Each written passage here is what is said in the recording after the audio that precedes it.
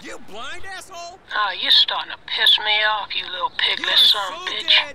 And don't you mouth off to me or I'm gonna slap you right in your penis.